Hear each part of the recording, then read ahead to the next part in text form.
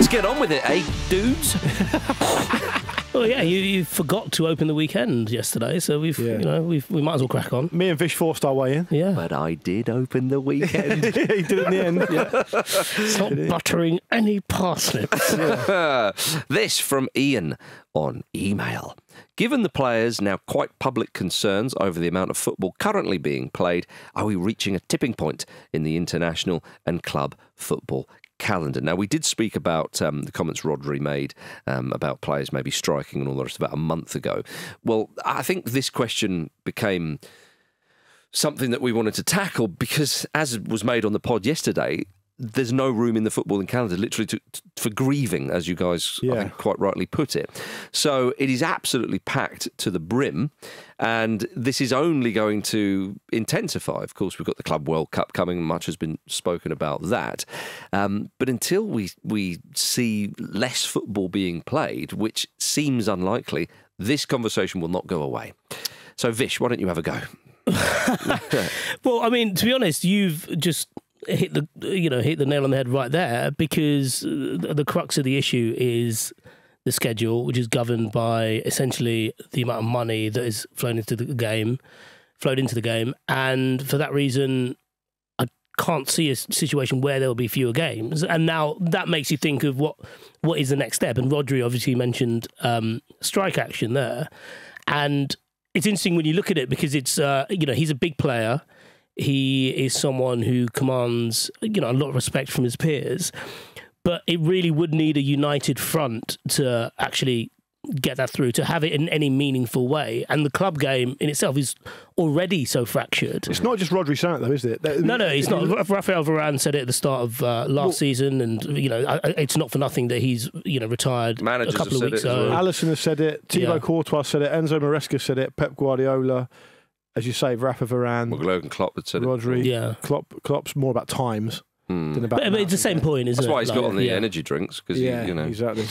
we, we, I mean, I. It's should- they're part of the recovery process. I'd love to have seen him at Carabao. yes. Yeah, I'd love to have seen him at Carabao. Then happy to be Monster, joining Monster. Then probably Red Bull Yeah. after that. Yeah, I think I think I'm still a Lucozade man, just a bit old school. Yeah, it is Remember old the John that. Barnes advert? But but I th- what what's clear, just to pick up on what Vish is saying, uh, th- as things stand as we sit here recording this now, it does seem like it's going to have to come from the players yeah, because, as I repeatedly say, and as we also kind of agree on this show, you know, the UEFA versus FIFA kind of power struggle is what's fueling a lot of this. Of course, it's about Yes. money as well, but it's ultimately a a bid to control the game. And the reason FIFA are doing this Club World Cup thing in the summer is because they they want some kind of skin in the game around club football as well. hmm Um, and you know, Andy's spoken quite eloquently on why that's not quite worked out for them so far. I mean, there's not really been any information released or how it's going to happen, how it's going to work, who's going to be sponsoring it, blah blah blah.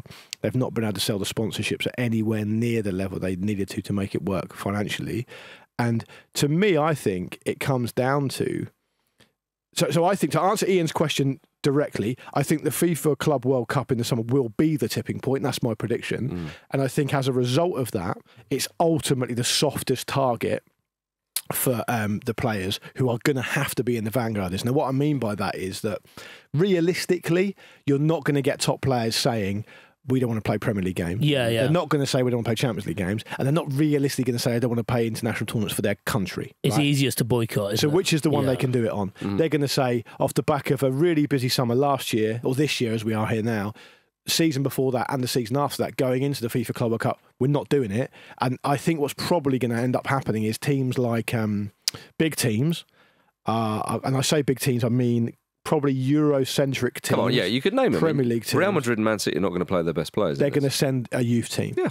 I don't think um, the South American, the Asian teams, the African teams will do that. No. Um, because I think Europe is the crucible of, of, of club football, and I think it's it's re- these kind of club World Cup things have always been taken a lot more seriously than by say South American teams in the past. So I think they may they may stick at it, but I think we'll see it. Uh, well, I think we'll see the very quality and standard of that tournament next summer uh, be undermined in some way. Mhm. Uh, it doesn't mean people won't watch it, um, although I'm not sure they will.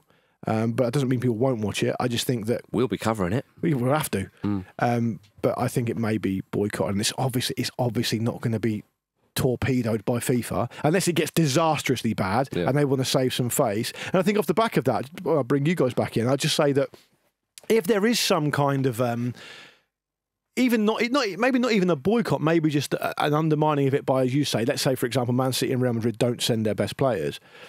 Can we rely on FIFA to react in a temperate fashion to that? Hmm. I would argue possibly not. Well, because it will be a slap in the face to them. Exactly. So then, how are they going to respond? And then you might start to see a conversation start to happen. I think I think we're actually seeing quite a lot of things changing in football in the near future, mm-hmm. especially off the back out of the Lassana Diarra decision, which you know we'll wait for the details to come out about that. That could change football in a big way as well. I get the feeling I could be wrong, but I get the feeling next summer might really be a tipping point on this stuff. To answer Ian's question directly, and I think there may need to be a rebalance. What that looks like. I don't know, but I think that's my general thoughts on the You're moment. nodding in agreement, Vish. Is there anything you would like to add to that? Yeah, no, I, I just I, di- I didn't really see a tipping point, but I think Luke's point about the Club World Cup next year is is a good one. I'll probably be wrong, Vish. Don't worry. No, but but I suppose the, my only thing was it would have to be the teams who could afford to take on FIFA, and I don't know whether Man City's lawyers are will be busy next summer, but you know I suppose they've got someone new to, um, to to focus their attention on because I think it is going to come down to a lot of. I suppose a lot of legal bureaucratic back and forth, um, and it will have to, you know, it will have to be started by the by the players, and I, I just think that's improbable. I, th- I think I think we're not talking about players striking and you're seeing them warming their hands around the brazier in some kind of like No, town. sure, but, yeah. but but and I think it's also a red. I'm not saying you're saying this, but I think it's also a red herring to talk about, you know, say NHL players, NBA players, NFL players who have there's been action in the past because because that's a, a really in a way quite a simple calculation because that is the players Yeah, union essentially versus the organisation. exactly, exactly. The problem yeah. with a, uh, just to use Rodri as an example is he's playing essentially games for organisations including FA, Premier League, UEFA, and FIFA. Right. It's, they can't go to war against all of them at the same time Yeah. in the same way. So they have to find the uh, they have to find the softest target they can. Then of course the reason it also gets a little bit um, more complicated is because you've got players all the way down the football pyramid who are desperate to play more games because they're, they're maybe they're not playing enough competitions, they're not quite at the level they want to be at. They only play X amount of games a year, so it's not going to be a, a blanket. FIFPro or PFA strike thing. Mm-hmm. It's going to be what Marcus said. It's going to be players in collaboration with their clubs saying enough is enough. You can send a team there if you want, if it's important for your global reach or whatever, but you ain't sending us, right? Yeah. And do you think that he will be used as a lightning Rodri? That's a really, really good point. Yeah. I think that would be. You've done the headline writer's job for them there, haven't you? Right, Luke Moore, you've got the next question. I have, and it's from Shona on email. Two emails so far. Old school. Old school. Hello to you, Shona. Um, Shona says, given all the pressure currently on Ange Postecoglou after their mediocre start to the season, do you think we have a definitive answer to the question of whether fans prefer entertaining football with jeopardy or more boring football but with a greater chance of wins? Mm, context is important here because I think that Spurs enjoyed last season under Ange Postecoglou because they'd had boring, mind you, I mean, they'd had boring football and didn't get the wins. Uh, I suppose when by the time Conte and, and Co were going, so uh, the context is is um, is crucial because I we see this with some sides. Uh, you think of, say, Stoke under Pulis or Curbishley uh, at Charlton, where fans have. Nice room to get a mention. Ah, you see. Oh, even recently, uh, West Ham under Moyes. Yeah, exactly. Another good example where a manager has kind of taken a side as far as they can go, and that side, particularly with Charlton and Stoke, actually to to make them a fairly established Premier League side. Certainly in the in the in the example of Stoke, kind of mid-table-ish. Like I often say this with regards to Fulham, it, it's an achievement to take a club that size and make them a mid-table um, Premier League team without you know uh, you know some sort of Halley's Comet Leicester City example or um, heavy investment and all the rest, it's probably as good as it gets for a lot of teams out there. And the the important context sorry, very quickly, is because you say mid-table, Yes. it sounds a bit nothingy. But you're essentially saying making them one of the Yes. ten or twelve best teams in the country. Exactly, and, and, Yeah. and I think people should should should look at it like that. So, the, the- as I say, the context is key. That maybe the history of the club and the fan base and so on. Do you then kind of stick or twist? But I do understand from fans' point of view. If you turn up and you think, "Yeah, we are stuck here. This is what we've got." Um, do you then change it? I think at Brentford, if you take Thomas Frank, there's they enjoy it a little bit more, and I think again, it's they've not been in the Premier League before that. So blah blah blah. Anyway, I'm too, The context is helpful, but at the same time, if Spurs did any of the things you've just listed there for any of those clubs, it would be a disaster for them. Yeah, sure. So um, it depends where you look at it. I understand it from from the point of view of say some clubs take West Ham and they think let's let's have a bit more entertaining football because like we're we, okay, Moyes has, has, has done okay, but he's done with it. If you have a club, say like Spurs. To a lesser extent, maybe West Ham, but say Manchester United, where they, they they believe that they have a style of play, or there's some sort of entertainment heritage, if you like, then I think it does become important. At say Chelsea, where it's more pragmatic approach, has been for a while. They've had some some entertaining stuff. I think that they're more lenient. So when I say context is crucial, there's so many elements that go into this. I'm a bit more cynical about it though, Mark. Do you think? I, I you, know, you, you think about these things like the quote unquote West Ham way and Spurs to dare is to do. Hmm. Well, I said they stuff. believe it. Yeah, they, they may believe it, and that's fine. But I don't know if anyone can properly quantify what it means. Mm-hmm. I, what do you actually want? Like, what does it mean? Does it mean because if it means you want to go out there and you want Mm-hmm. to throw caution to the wind and you want to entertain people of an afternoon and be relatively content that you come away losing four three at home in a barn burner of a game, Mm-hmm. right? Fine, but I don't know any Tottenham fan that would be walking back down the Seven Sisters Road happy with that because they would have lost the game. No, but you- the West Ham way as well. This is a sixty-odd year old concept that hasn't really had Yeah. any bearing which in reality for a long time. Which is why Spurs is probably a better example because again, go back to that four-one loss at home to Chelsea when they were down to nine men and the way they played.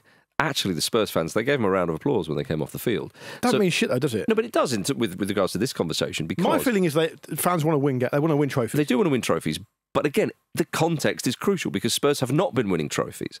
So the, the, the idea is, you know, greater chance of winning on, and boring football. It depends. You immediately think of the top level clubs. You immediately think of, say, Real Madrid, um, what Man City, you know, whatever. But actually, this this is a conversation for every single team in the league. So I just decided to do it from the point of mid-table sides and maybe say Spurs, a bit higher than that, of course. I think if you were to offer. Um, Tottenham Hotspur or West Ham or whoever, take your pick. 2005 Jose Mourinho, they would take him. Because, it- because of course they would. Um, I think Spurs. I think Spurs are a misnomer in this conversation. Full stop. Perhaps, perhaps. But I think the, the majority of fans, you're right, they want to win games. But it depends what you then get used to. Because if you're winning games every week, I think if Manchester City currently was still winning loads of trophies and all the rest of it, it was 1 0 here and a 1 0 there, and they were not that inspiring, I think they would go, oh, we're bored of this now, we want to see something But different. this this argument and conversation happens all the time in football Mm-hmm. fandom on shows like ours over and over again. And what's never really talked about is the central principle which underpins all of this from every fan's point of view, Mm. and that is the question: What is the ultimate form of entertainment? And the ultimate form of entertainment is winning. Yes, but as I said, And though, that's if that. that. winning becomes And that's too, that. no, but it is not that because if that winning becomes too formulaic and say quote unquote sort of too boring or whatever, But you're, you're thinking of like two teams. Possibly not even that. Yeah. well, I, but You, well, I- rather, you're thinking of teams specific eh, specific periods with specific managers. Mm-hmm. Because I think back to, um, you know, you look at what Ipswich have done over the last two years before mm-hmm. getting into the Premier League, and there was a level of excitement there because they were playing entertaining football and they were churning out results. Mm-hmm. And now they're in a situation where. Right. Um, what part of our principles do we need to compromise? And there are only principles that they've, you know, drawn up over the last three years, uh, however many years under McKenna, but there are principles nonetheless, and there are a reason that they fill out their stadium week in week out for the last two years. And I suppose that's when, you know, it, it's probably a conversation happening with Ipswich fans right now. The reason I said earlier that Spurs is a bit of a misnomer is Spurs are constantly banging their head on what used to be a glass ceiling of getting into the top four and have then, you know, punted on, let's say, three managers in Nuno, uh, Mourinho, and Conte who have just been quite dull in the pursuit of basically, right, let's just really try and force our way up there. And it worked with Conte for that one season where they finished in the Champions League spots at the expense of Arsenal, and it you know fell on on its arse the very next season. But that's specific to them in terms of the entertainment stuff. The reason, almost Postecoglou's coming back to steal line from um, Luke's mate, basically to run like a, I suppose a, a happy clappy exorcism in that we can play an attacking way. We should be unrelenting in our principles. We're going to try and basically um, almost thrill ourselves through this, uh, you know, beyond this idea that we're unlucky and we're a bit slapdash and we're like the Eeyores of North London, essentially. Um, but if you're talking about entertainment versus results, it's what the, you know, even, we can even throw Southampton into this because they, they've been abysmal at the start of the season because they just haven't, you know, they, uh, they haven't um, changed their ways. And it's their fans, really, who are thinking to themselves, shit, we've we've had the best, Ipswich specifically, we've had the best time the last two seasons it's been really fun. Do we need to be really dull and boring now? Because they would probably actually take that. Mm-hmm. They would love to, you know, win more games in the Premier League, have a few more big days out, and stay up. Yeah. Which requires being that robust and slide in some of that attacking, engaging play. I just think like if you want to go out for an isolated Saturday afternoon and go and watch a game, your team play and be entertained, that's understandable and totally your decision, and that and that makes sense. I get it, but ultimately, when it comes to quote unquote entertainment, it's it's just it's just tears in the rain. Like it, it, really is. Like if you if you to use Spurs as an example in a slightly different way to the way Shona has, why do people remember the Bill Nicholson, Nicholson Spurs team of 1961? Right, they did play great football. I didn't see them; it was way before my time. But they played this amazing type of football. But why are they still talked about now? Because they won the double. If they made amazing entertainment football every Yeah, single week, you you no, but this, let me finish the point. If they do amazing football every single week and play really well over and over again, right, and won nothing, right? Who's talking about him? But I think I think that In 60 years' time, so the who's question talking is: about him? Do you think we have a, def, um, a, a definitive answer to the question? I am saying no. I'm saying I'm saying yes. You are saying this. I'm saying no, and I think Vish actually, from what you were just saying there, I would suggest you're saying no as well because you were putting lots and lots of context. You I, saying- I just don't, I just don't think that this is the, you know, th- this is the experiment that comes out with the conclusion that fine. So you Yeah. think the method's perhaps wrong. My my to to clarify why I think yes is because I think if football fans in their you know when they're lying in bed at night, it's just them and the, you know them and the pillow, being honest with themselves, mm-hmm. and va- a massive majority of them is the definitive answer to the question is we want to win something. Yeah. And I speak as someone who supports a team that have won one notable thing in my lifetime, mm-hmm. which is the FA Cup. Right, that means a lot more to the vast majority of Portsmouth fans than you know, having great fans, which people always patronise Pompey as having, or playing quite nice football for that level of football, which people used to talk about Pompey in the past. What means the most to all those fans is winning the FA Cup. and the, the other thing. The with that example of Pompey, though, I think again the context is is that's why I'm. I'm sure, it's a, of- it's a broad question. yeah. But but and that's uh, I suppose that's another reason when you flip it why this question doesn't quite work because Slagging off the questioners now. Well- no no no isn't he? no because you don't respect the no listener. no no but- no because because this it's is- important this is a because it was the way it was framed yeah And, and also, this is a question that people have asked time and time again. Yeah, which is yeah. why Shona's asking it. Be- because uh, because like the irony is in the way this question is posed is that it's one or the other for Postecoglou Yeah. when we know for a fact it isn't because the only thing he's talks about this Mm-hmm, season is winning something. Yeah.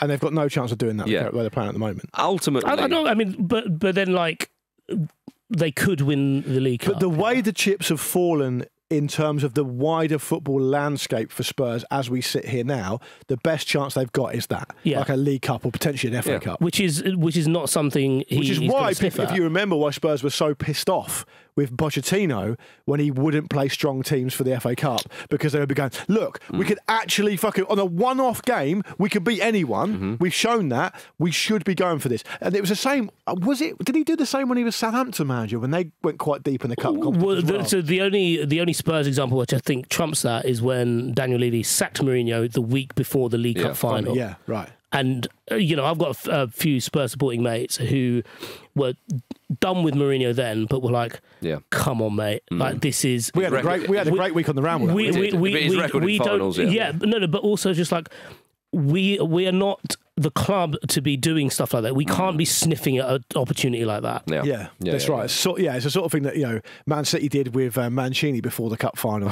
they, they, he knew he was losing his job, Yeah. whatever happened, I- I because think- they could have basically do that. Yeah. To, to get back to the question, I think that uh, I think everyone wants to win with style. and that is is incredibly rare and very very very very Yeah. few teams do it. So you tend to kind of go right. Do you want to win something pragmatically? Yeah. And speaking as England fans, England, let's be honest, for a lot of the Euros in the summer, stank out of place. If they'd have managed to clinch a trophy, So that's I would right. have been disappointed.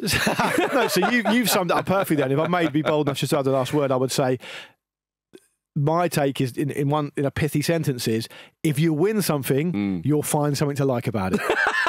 Yeah. You won't fucking go, oh, well, gutted about that. I'm gutted that we you know, we put fucking 10 minutes up behind the ball. That, that just, it just doesn't happen. yeah. you- You'd think so. Look, good question, Shona. It got us. Yeah. Uh, it got us talking. Got us going. Vish, you've got the next question. I do, I do, and it comes from Moon on the Discord. One of the most active Discord members, big part of the community there. Yeah. Good to hear from him again. Full Fuck, moon. uh, you know, I don't mind getting stuff from an email, but it's nice to hear from proper fans. Exactly. Uh, Luke's a father now, As am I. So is Marcus. as is Marcus. Yeah. Yeah.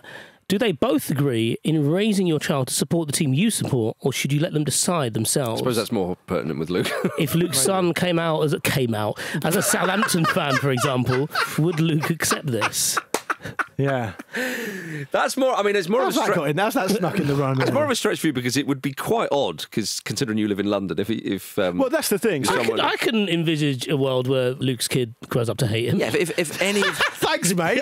Fuck you now. well, I, I, think I, That's, just- that's fine, is it? Normally it's edit, edit, edit. that's fine, apparently. I don't think it's fine, um, but it is staying in. Yeah. Uh, no, I can envisage um, us desperately trying to convert him to as Yeah, a that's, Southampton. that's actually a Yeah. That's actually a Which is a bit more likely. Which That's is actually why you guys don't get access. Um, Um, I, th- I think for. I mean, I live in southwest London, but, but but the question is, would you would Yeah, you okay, fine. are you going to let your Yeah. children find their own way, or are you going to gently nudge them? What's the what's the idea? yeah, I think that's fair. the only reason why I would gently nudge one of my sons Because it's local and you can go. local and money wise, you know, Yeah. because again, trying to get tickets for Fulham is a lot easier. Well, Yeah. I mean, it's expensive, but it's it's getting the actual tickets is much more easy than say at Chelsea or Brentford. I suppose maybe that's the Yeah. who's the uh, QPR. Let's let's I'll find out how, who's the cheapest, and then we'll go for that. no, I, I, but but if they wanted to say support Liverpool or Manchester City, for example. Or any team that's that's um, quite far away, I, I would say to them that you do realise that if you want to go and see them, you know, and I'm, I might do it like that. That's not because ideologically or emotionally they shouldn't. It's just kind of like, look, be aware of that. But I suppose trying to say that to a five-year-old is is rather Yeah. futile ultimately. I- so I- I, would maybe gently suggest it, but probably. And I think that's the way to go. Yeah. Uh, my, I've long been of the opinion, really ever since I knew I was going to become a father, that there's absolutely nothing in Yeah. supporting Portsmouth for him. Yeah, Like, I, I, geographically, it doesn't make any sense. Um, he's not going to be able to watch them that often. He's not going to watch them on TV that often. Although the, that's new Sky deals maybe slightly changed that. Assuming he grows up to like football, I, I will totally let him find his own way. And there's a few reasons for that. Maybe I'll go into one or two of them. I know people who support the rival team that their dad supports Yeah. as a response to how their dad was with them when they were kids. and you lo- really? and you love an argument. I've got friends who, um, two brothers, good friends of mine, who both support Arsenal and their dad supports Spurs. like I, I, know- I just know I've got a few different examples of it, and I also think that you know. Um, I really want him to be his own person, so I want him to find his own way in the world, and I want him to go after what he likes. And maybe that'll be football, maybe it won't. The only team I've taken him to see so far is Peckham Town, which is a very local team to us, which is a great place just to turn up if you, you know, it's like having kids. You just want to do something, you haven't got to plan it. Um, there are caveats to that. Obviously, I don't want him to support Southampton. That's clear. That, that should be a surprise to nobody. But uh, to answer the question, uh, I strongly believe that I want my son to be his own person. So I'm not going to force him to do anything.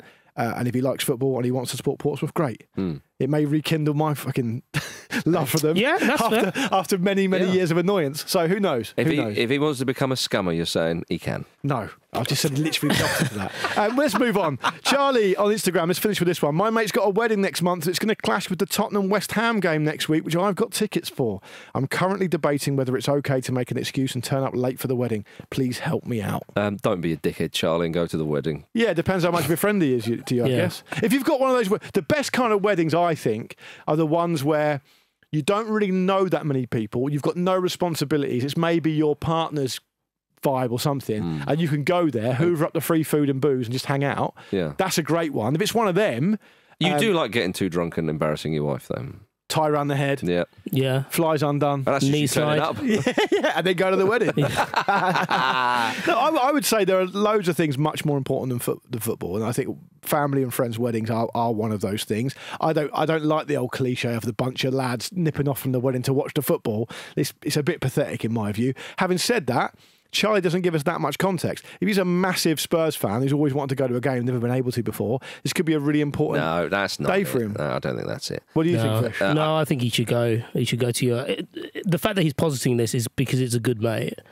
He Yeah. know he knows what he's doing. Yeah. I, the fact is, though, he's saying, "Oh, I'll turn up late." Well, again, how late? Yeah. But if you're going to actually, If they've catered for you, like logistically, if they've gone to the effort of like Yeah. catering for you and including you into, and you've the different RSVP'd saying you're going to be there. yeah, and you don't go there, I think that's a very selfish thing to what do. if he's just an evening guest? Uh, yeah, well, I mean, but he's going to turn up late. W- I suppose, yeah, regardless of whatever- whether he's guest, yeah. he said he's going to turn up late. What I would say is, um, are they going spare? We'll take him. There's that. Yeah, Spurs West Ham's at twelve thirty, by the way. So Yeah. I mean, he, he could easily get there. After. Oh, so yo, so it's twelve thirty in the morning, yeah. in the mean? afternoon. Twelve thirty. What? what So, world- sorry, sorry, as, as in, as, sorry, as in it's a morning kickoff. Oh, It's well, an sorry, af- it's an, it's an early, early afternoon. afternoon kick- What has happened to you? It's the first game on Saturday, is what we're saying. Yeah, It's a lunchtime game. lunchtime game. So almost certainly he's been invited to the ceremony. Yeah. And if you've been invited to the ceremony, he's basically you're close saying- enough to him to be considered by him that he wants you there to be involved in that special moment. Th- th- yeah. Don't take it for granted. He's saying, I don't- Totally right. he's- Full, full on. Yeah, Spot on. yeah. And I think there's a, there's, a, there's, a, there's a kind of situation I can f- conceive of where you've been invited to a wedding of a very distant person and you've said you'll go because you've got nothing else on. And all of a sudden you've got tickets to go to the World Cup final that England are in.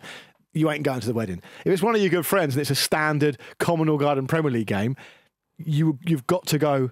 And um, you've got to go to support your friend and share in that moment, as Vish rightly says. Exactly. Yeah. if he's getting married to your ex, you don't have to go. They- yeah, Let's yeah. just But, cover all um, bases here. According to Marcus, the only way you should go to the Spurs game is if Spurs play really good football but don't win, because that's important. yeah, that's that's what I said. that's exactly it. Yeah, you, yeah. I- I- in Marcus's as I- eyes, you'll you'll regret it if you've played well, got loads of really high XG, but Yeah. lost one 0 As I, as I proved, uh, you know, uh, when talking about the other one, context is very much needed, and you Yeah. guys uh, added given that there. for Charlie. Marcus, before we go, um, Mm. Can't believe we've done a good section there on weddings, Yeah, and you haven't talked to us about your favourite wedding cakes. all of them. You, you, you, so you go to a wedding, Mm. you, you, you're legitimately there. Yeah. You're going to get a bit of cake at the end. Yeah. What are you hoping for? Uh, good question. So there is a kind of, as it was at my wedding, there's a kind of standard thing where you have a three-tiered cake. Yeah. You know, the classic sort of icing and marzipan round it, and all gorgeous stuff. Look how passionate And, about uh, it. It's like me and you for a beer at the end of the day. I like the cake, cake, the, all the cakes, um, and you've got um, classic fillings actually, but but but done very very So you well. go chocolate, Victoria sponge fruit, or something like that. Uh, oh, well, the fruitcake, I was, you, I mean, fruit fruitcake's great, but I think probably more Christmas cake. Nowadays, some people do um, Victoria sponge will be one layer, red velvet will be another, That's just a dyed chocolate cake, though, isn't it? and and carrot cake another. Uh, yeah, this is like a bit, it's a bit huh? fashionable for me. Do you remember when you that Bit phase, fashionable. Remember that, fa- remember that phase people went through where you turn up and it'd be a cheesecake. It, there should be cheeses. Oh yeah, yeah, yeah, yeah. Yeah, they Blocks of piss cheese. off. Wheel of cheese, wheel of cheese, wheel of cheese. Piss off and give me the cake. Yeah, I, Like I, cheesecake, I can kind of go, well, all right. I'm a Victoria sponge man. Victoria Sponge is, is fantastic. It's, it's great. I think a carrot cake and red velvet, all good choices, but that's your, your classic three tiered.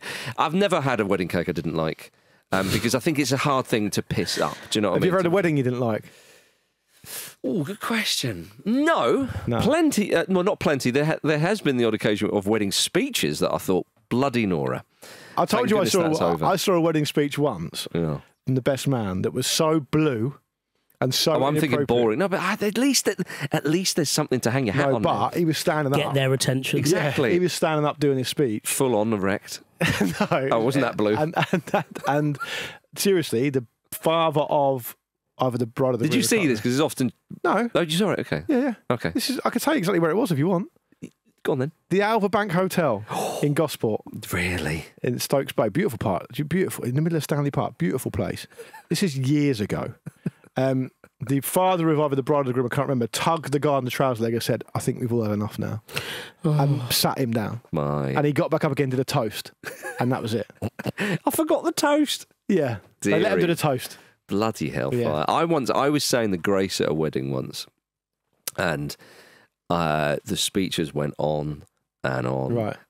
in on. Yeah. And people, and it, and we hadn't had our meal. Shit. And I was you looking around the room, and people are just going. I hate that legend in the lunchtime thing. Five minutes max. Yeah, what, what are you trying to ten, do? 10 minutes max. Ten minutes. What are you trying to prove? Yeah, but but always stagger them like a lot of people do now. We did that Yeah. my wedding, but uh, but people were looking around the room, just like, and and uh, there was an audible groan when some the the, the MC who was this.